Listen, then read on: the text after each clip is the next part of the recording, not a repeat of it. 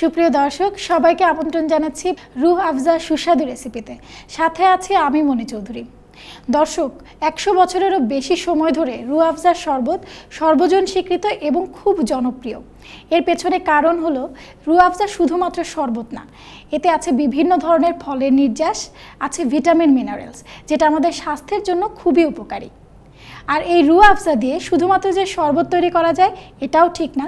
এই রুহ আফজা ব্যবহার করে তৈরি করা যায় বিভিন্ন ধরনের মজাদার সব রেসিপি আর সেই সব রেসিপি আমাদেরকে করে দেখাবে আমাদের শেফ ফারজানা ইমন। চলুন কথা বলি আপুর সাথে। আপা কেমন আছেন? জি ভালো আছি। আপনি ভালো আছেন? হ্যাঁ আপা ভালো আছি। আজকে আমরা আফজা দিয়ে কি রেসিপি তৈরি করা দেখব? আজকে আমি দুইটার বেভারেজ দেখাবো। একটা হচ্ছে রুয়াবজা সামারকুল আর একটা রুয়াবজা প্লেন শরবত। আচ্ছা তো প্রথমে করব আফজা সামারকুল জি। কি কি ইনগ্রেডিয়েন্টস লাগছে বলে দিন? সামারকুলের জন্য আমার লাগছে পেয়ারা। যেটা আমি জুস করব। তারপরে হচ্ছে বরফ কুচি আর একটু সোডা পানি ইউজ করব। আচ্ছা আর রুহ আফজা তো লাগছে রুয়াবজা তো ইউজ করছি। আচ্ছা। প্রথমে যেটা করছি পেয়ারা আমি সব কিউ কাট করে নিয়েছি। এটাকে আমি গ্রাইন্ড করব হচ্ছে পানি দিয়ে আর একটু রুয়াবজা দিয়ে। এখানে একটা মিডিয়াম সাইজের পেয়ারা আছে। আচ্ছা।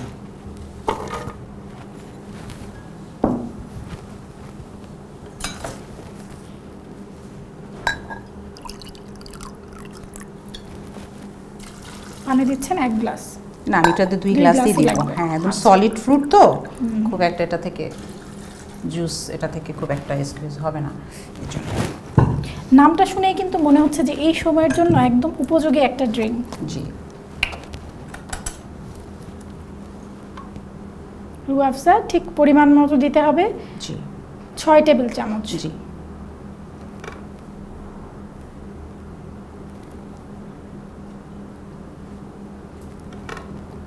পেয়ারা এমন একটা ফ্রুটস যেটাতে একেবারে সুগার নেই বললেই চলে। টু মাচ ফাইবার খুবই ভালো একটা জিনিস এই সামারের জন্য। আর পেয়ারার জুসটা তো কোনো কালার আসলে ওরকমটা থাকে না। কিন্তু সেটাতে যদি একটু রু আফজা অ্যাড করে দেওয়া হয় তাহলে চমৎকার একটা কালার আসবে।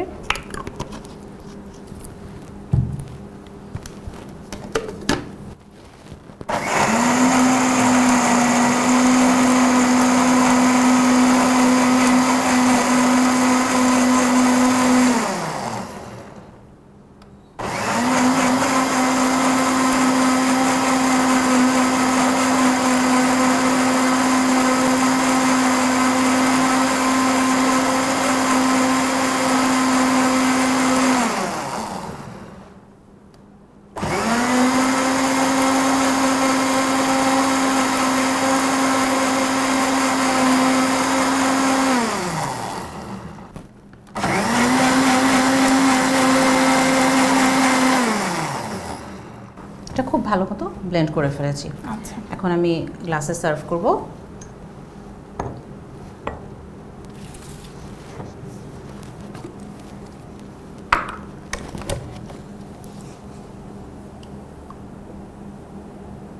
পেয়ারা যেহেতু খুব একটা মিষ্টি ফল না অনেকেই কিন্তু খেতে চায় না। কিন্তু এটার সাথে যদি একটু রু আফজা অ্যাড করে দেওয়া হয় তাহলে হ্যাঁ। একটু সুইটিশ একটা টেস্ট পাওয়া গেল পেয়ারাটাও খাওয়া হয়ে গেল। হ্যাঁ সুন্দর একটা ফ্রেগরেন্সও এনহ্যান্স হলো। আর যদি কারও গ্যাসের কোনো প্রবলেম থাকে যে গ্যাস ফর্ম করে যে কোনো জুস নিলে সেক্ষেত্রে আমি কিন্তু এখানে সোডা পানি দিচ্ছি হ্যাঁ? আচ্ছা। এটা রিলিফ হয়ে যাবে ওরকম যদি কোনো প্রবলেম থেকে থাকে টু টেবিল স্পুন করে দিচ্ছি।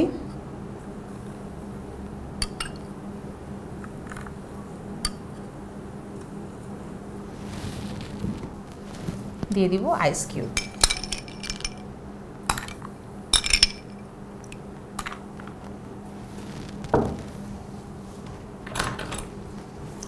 লাস্টে যেটা করব সামারে যেহেতু এটা সামার কুল নাম দিয়েছি এবং এই জিনিসগুলা দেখা যায় যে বিচ সাইডে খুব ভালো যায়।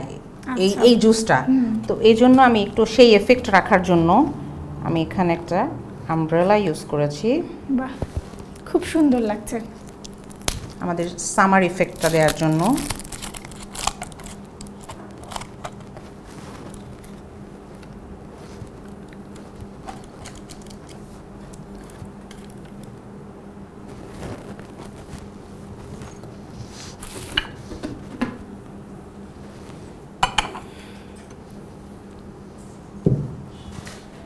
এটা ছিল আমার রু আফজা সামারকুল দেখতে খুব সুন্দর হয়েছে নিশ্চয়ই খেতেও খুব টেস্টি হবে। আপু আপনাকে অসংখ্য ধন্যবাদ এত সুন্দর একটা রেসিপি আমাদেরকে করে দেখিয়েছেন। ধন্যবাদ। দর্শক দেখে নিলেন কীভাবে তৈরি করতে হয় রু আফজা সামারকুল আপনারা নিশ্চয়ই এই রেসিপিটা ট্রাই করবেন। আপু আমরা এখন তৈরি করব রু আফজার শরবত কি কি লাগছে এই শরবত তৈরি করতে? এটা একেবারে প্লেন খুবই ইজি একটা জিনিস। আমি হচ্ছে তৈরি করব লেবুর রস দিয়ে। আর গার্নিশ করব মালটা দিয়ে এবং অ্যাজ ইউজুয়াল আমরা যে রেশিওতে প্রিপেয়ার করি রুয়াবজার শরবতটি সেভাবেই হবে। আচ্ছা তাহলে শুরু জি।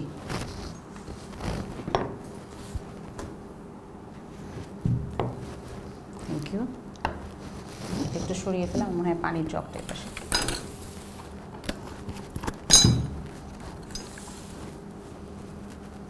আমি এক এক গ্লাসে তিন টেবিল চামচ করে দিয়ে দিচ্ছি।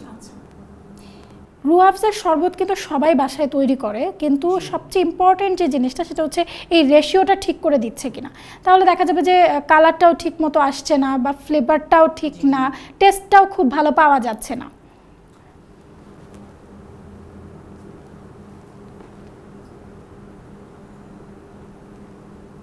রুয়াফজার শরবতের সবচেয়ে ভালো দিক হচ্ছে এর রঙটা আমি প্রায়ই বলি যে এটার কালারটা এত সুন্দর যে শরবতটা তৈরি করার পরে কালারের জন্যই খেতে ইচ্ছা করে।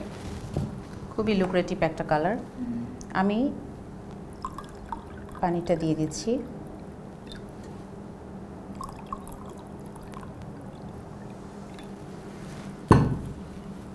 একটু পাশে রাখব। অনেক সময় কিন্তু দেখা যায় যে খাবারগুলো উপকারী স্বাস্থ্যের জন্য সেগুলো ক্ষতিকর হয়ে থাকে। অনেক সময় দেখা যায়। হ্যাঁ, বা হ্যাঁ। সুস্বাদু হয় না। কিন্তু রুয়াফজার ক্ষেত্রে যেটা দেখলাম যে এটা এতটা উপকারী কিন্তু খেতেও ভারী টেস্টি হ্যাঁ ওই ধরনের ইনগ্রেডিয়েন্টস এটার মধ্যে দিয়েই কিন্তু তৈরি করা হয়েছে। রুয়াবজাটা তৈরি করা।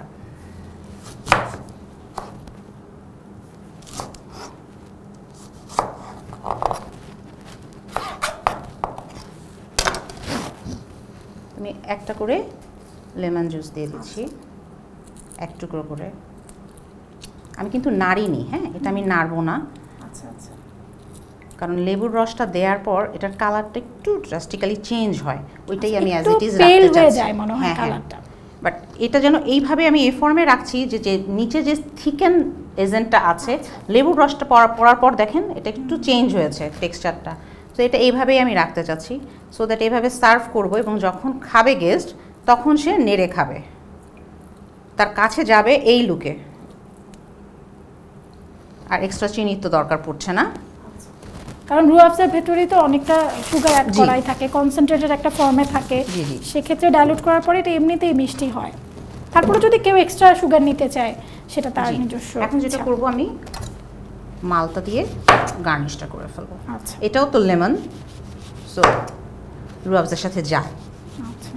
সব ফলগুলোই আসলে রুয়াফজার সাথে যায়। রুয়াফজা তো অনেকগুলো ফলের মিক্সচার তো যে কোনো ফলই কিন্তু রুয়াফজার শরবতের সাথে ইউজ করা যায়।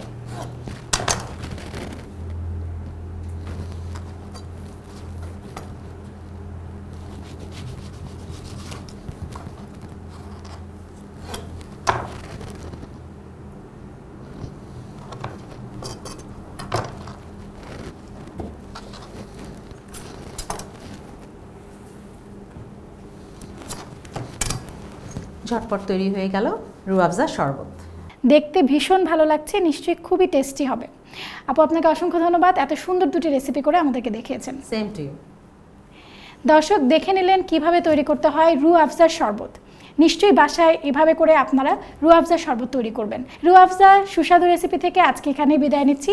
সবাই ভালো থাকুন সুস্থ থাকুন।